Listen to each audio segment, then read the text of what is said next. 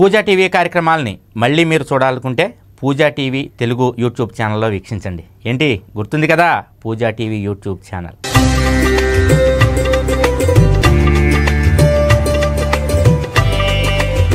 విశేషమైనటువంటి రహస్యమైనటువంటి ఎవరికి తెలియనటువంటి మనకి తెలియక చేసేటటువంటి పొరపాటు వల్ల మనము ఈ నరఘోష నరపీడ నరశాపము నర దృష్టి వీటన్నిటికీ ఏ విధంగా లోనైపోతూ కష్టనష్టాలని కొని తెచ్చుకుంటూ ఉన్నాము బాధల్ని పీడల్ని రోగాల్ని పొందుతూ ఉన్నాము అష్టైశ్వర్యాలకి పొందడానికి బదులుగా అష్టదరిద్రాలు పొందుతూ ఉన్నాము అటువంటిదైనటువంటి ఈ యొక్క ఒక విశేషం గురించి చెప్తున్నాను వినండి. మనము సూర్యోదయ సమయానికి కనుక దేవతార్చన గదిలో ఉన్నటువంటి నిన్నటి పుష్పాలు కనుక తీయకపోతే నిర్మాల్యాన్ని కనుక విసర్జించకపోతే తీసి పక్కన వేయకపోతే నిర్మాల్య దోషము మనకి సంక్రమించడము వలన అసురే శక్తులు మన కుటుంబం మీద మన యొక్క గృహం మీద ఆధిపత్యాన్ని పొందుతాయి. అంటే చక్కటి పూలు పట్టుకొచ్చాం. ఈవేళ సత్యనారాయణ స్వామి వ్రతం చేసుకున్నాం గురువుగారు మా ఇంట్లో అనుకున్నాం. సత్యనారాయణ స్వామి వారికి వ్రతంలో పుష్పాలని పెట్టాం. అదేవిధంగా మన దేవతార్చన గదిలో దేవుడి గదిలో కూడా ఒక్కో ఫోటోకి ఒక్కో పువ్వు పెడతాం కదా మనం. పెట్టిన తర్వాత ఆ పూలు ఎంతో అందంగా కనపడుతూ ఉంటాయి. రాత్రి అవుతుంది తెల్లారుతుంది. రాత్రి తెల్లారేటప్పటికీ చాలా విశేషం ఏమిటయ్యా అంటే నిన్నటి పుష్పాలు ఏవైతే ఉన్నాయో ఆ యొక్క పుష్పాలన్నీ కూడా ఒక రాత్రి గడిచేటప్పటికి నిర్మాల్య పుష్పాలు అయిపోతాయి. మనం అనుకుంటాం పుష్పాలు తాజాగానే ఉన్నాయి కదా ఏం వాడిపోలేదు కదా బాగానే ఉన్నాయి కదా అందుకని దేవుడి మీద ఉంచేద్దామని చెప్పి అనుకుని అక్కడ ఉంచేస్తాం.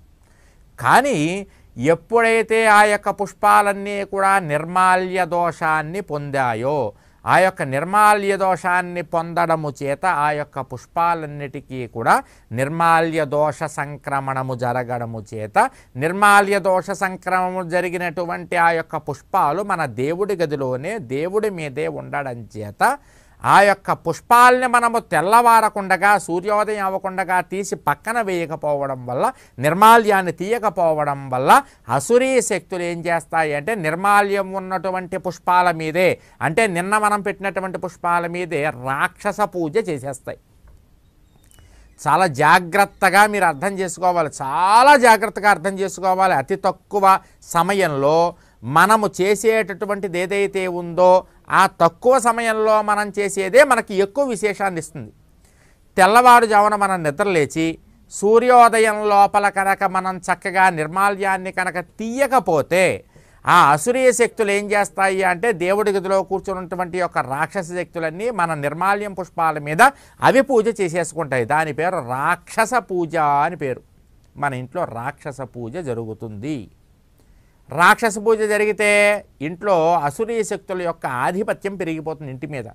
దాంతో ఇంట్లో ఉన్నటువంటి వాళ్ళకి మనశ్శాంతి ఉండదు.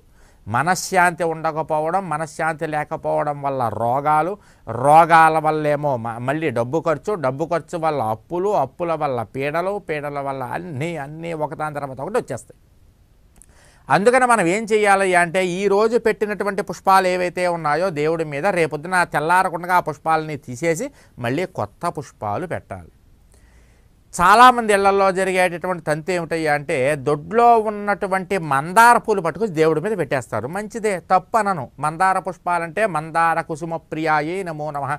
చాలామంది దేవతలకి మందార కుసుమానికి యొక్క ప్రియత్వం కలిగి ఉంటారు కాబట్టి మందార పూలు చాలా ఇష్టం. అందులోనూ గంట మందార రేఖ మందార ముద్ద మందార ఎర్ర మందార పచ్చ మందార ఇవి ఇన్ని రకాల మందారాలు ఉన్నాయి కదా మందార పూలు పట్టుకొచ్చి దేవుడి మీద పెడతారు. ఇన్ని పుష్పాలు పెట్టేస్తారు కరువో కాలమో అన్నట్టుగా. ఇన్ని పుష్పాలు పెట్టమని ఎవరో చెప్పలేదు మీకు. భక్తిగా ఏడు పుష్పాలు పెట్టండి చాలు. సరిపోతుంది. చాలామంది ఇన్ని పుష్పాలు పెట్టేస్తారు. మీరు గమనించండి కొంత కొంతమంది ఇళ్ళలో ఈరోజు పెట్టినటువంటి పుష్పాలు రాత్రి తెల్లారేటప్పటికి బొద్దింకలు కొట్టేస్తాయి. ఆ మందార పూలు తినడం కోసం బొద్దింకలు వచ్చేస్తాయి. పుష్పం ఈ రోజు ఇలా ఉన్నటువంటి పుష్పం రేపు పొద్దున్న చూస్తే ఆ మొత్తం ఆ రేఖలన్నింటినీ కూడా బొద్దింకలు కన్నాలు కన్నాలు చిల్లులు పెట్టి తినేస్తాయి. ఆ పుష్పాలు అలాగే ఉంటాయి. లేదా వీళ్ళు నందివర్ధనం బిళ్ళగన్నేరు చిన్న చిన్న పారిజాత పుష్పాలు పట్టుకుని దేవుడి మీద పెడతారు. అవి పెట్టిన పుష్పాలు రేపటికి వాడతాయి. ఎల్లుండికి మాడతాయి అవతల ఎల్లుండికి పూర్తిగా ఎండిపోతాయి.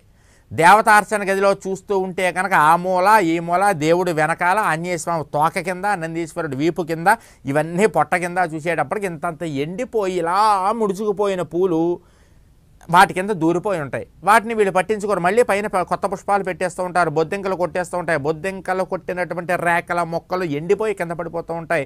ఆ ఎండిపోయినవి అలాగే ఉంటాయి. వాటిని ఎప్పుడో ఆరు నెలలకు ఒకసారి ఎప్పుడో దేవతార్చన గదిలో తీస్తే ఎంత తుక్కు వస్తుంది బయటికి పనికిరాని తుక్కు.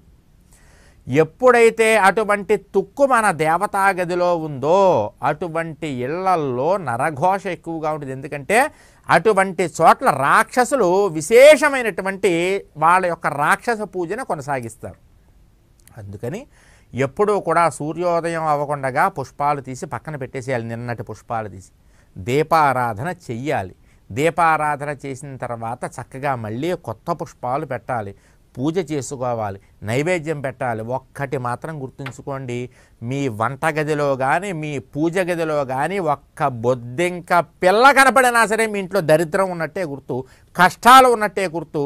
చక్కగా అసలు ఎటువంటి బొద్దింకలు గుడ్లు లేకుండగా బొద్దింకల పిల్లలో కనపడకుండగా ఎప్పటికప్పుడు శుభ్రం చేసుకుంటూ లక్ష్మణ రేఖ అని దొరుకుతుంది. శుభ్రంగా రాసేసేయండి. లక్ష్మణ రేఖ రాస్తే బొద్దింకలు రావు. ఇళ్ళల్లో కూడా ఎప్పుడూ బొద్దింకలు ఉండకూడదు. బొద్దింక దరిద్రానికి సంకేతం. జ్యేష్ఠాదేవి యొక్క రూపం ఏదయ్యా అంటే మొట్టమొదటి రూపం బొద్దింక. మన ఇళ్ళలో దరిద్ర దేవత ఎలా వస్తుందంటే ముందు బొద్దింక అడుగు పెడుతుంటే మీ ఇంట్లో. బొద్దింక అడుగు పెట్టిన తర్వాత దరిద్ర దేవత మీ ఇంట్లోకి వస్తుంది. అందుకని ఇళ్ళలో బొద్దింకలు ఉన్నాయంటే కనుక మీరు దరిద్రాన్ని ఆహ్వానిస్తున్నట్టు గుర్తు చాలామంది అంటూ ఉంటారు. పోన్లేరా పగలు ఎలాగా కనపడవుగా? రాత్రి మనం పడుకున్నాక బయటకు వస్తాయి మళ్ళీ తె- మనం తెల్లారకుండా అవి లోపలికి వెళ్ళిపోతాయి మనం లేచే టైంకి. పోన్లే బతకని. మనం వదిలేసినవే అవి తినేవి? అంటారు. కానీ మనం వదిలేసినటువంటివి మన ఉచ్చిష్టం తినేటటువంటి బొద్దింకలు మన యొక్క దరిద్రాన్ని పెంచుతాయి. ఎవరైనా కానీ ఒకటే గుర్తు మాకు ఐశ్వర్యం కావాలండి గురువుగారు అంటే బొద్దింకల్ని ఇంట్లోకి రానివ్వకూడదు. గురువుగారు పోలండి ఆ బొద్దింకలు. ఏవో బతకనివ్వండి. అవి ఒక జీవులే కదా. పరమేశ్వరుడు అన్ని జీవుల్లో ఉన్నాడు కదా. అంటే ఆ దరిద్ర జీవిని పెరగనివ్వండి. తప్పేముంది? మీకు ఇంట్లో బొద్దింకలు ఉన్నాయంటే చక్కగా లక్ష్మీదేవి బయటికి వెళుతూ దరిద్ర దేవత ఇనప గజ్జలు కట్టుకుని మీ ఇంట్లో అడుగు పెడుతున్నట్లే గుర్తు. ఇంతకంటే గట్టిగా చెప్పడం నాకు చేత కాదు. చెప్తే బాగోదు.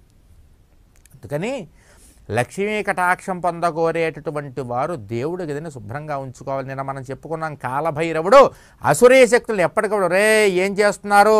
అంటూ ఉంటాడు. అంటూ ఉండి వీళ్ళు లోపల నుంచి "ఆ, లేదండి ఇక్కడ వీళ్ళు ఎలా సరిగ్గా చేయలేదు కదా అందుకని మేము పూజ చేసుకుంటున్నాం. ఒరే ఇప్పుడేం చేస్తున్నారంటాడు ఆయన.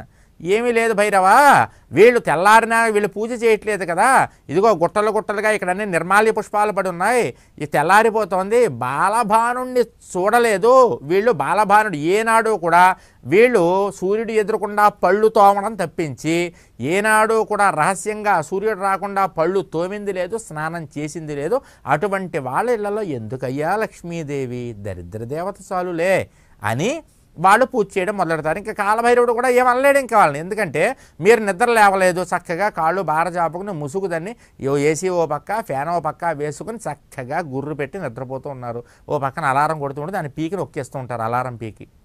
ఇంకా ఐశ్వర్యం ఏమొస్తుంది మీకు? ఐశ్వర్యం ఏమీ కలిసి రావట్లేదు. బాబోహే అనుకుంటే ఏమొస్తుంది చెప్పండి? ఐశ్వర్యం రావాలంటే దానికి తగినటువంటి పద్ధతుల్ని పాటించాలి.